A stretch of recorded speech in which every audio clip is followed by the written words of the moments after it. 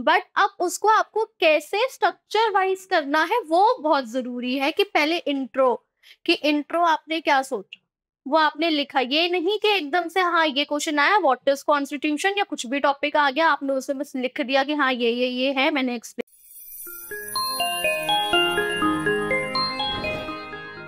Hi everyone, myself Yukti Gupta, Masters in Political Science and Public Administration.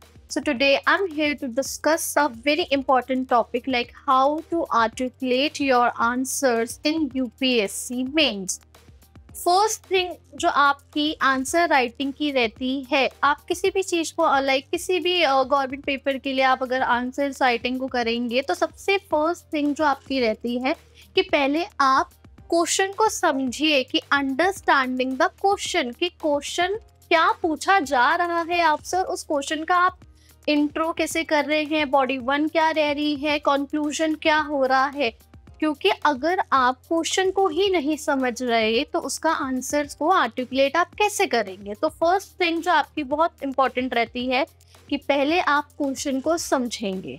Second जो आपका रहता है, आपको अपने आंसर राइटिंग को बहुत इफ़ेक्टिव दिखाना है, बहुत अच्छा ऐसा हो कि हाँ स्टूडेंट ने लिखा है तो बस उसके मार्क्स अच्छे आने चाहिए। तो सेकेंड थिंग जो आपको मेजरली बहुत ध्यान रखनी है कि उसका स्ट्रक्चर कैसे हो रहा है।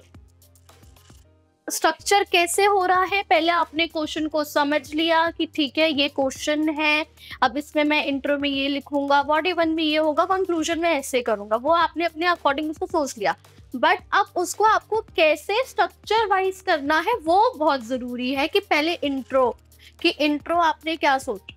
वो आपने लिखा। ये नहीं कि एकदम से हाँ ये क्वेश्चन आया व्हाट इज़ कॉन्स्टिट्यूशन या कुछ भी टॉपिक आ गया, आपने उसमें बस लिख दिया कि हाँ ये ये ये है, मैंने एक्सप्लेन कर दिया दैट सेट मेरे को आंसर मिल जाएँगे। नहीं, ये चीज़ नहीं होती। ये स्कूल कॉलेजेस में चल जाएगा बट इन यूपीएससी ये चीज़ नहीं होती। पहले आपका इंट्रोडक्शन होगा कि हाँ कॉन्स्टिट्यूशन का पूछा गया है तो पहले मैं इसमें इंट्रोडक्शन दूँगा कॉन्स्टिट्यूशन के ऊपर।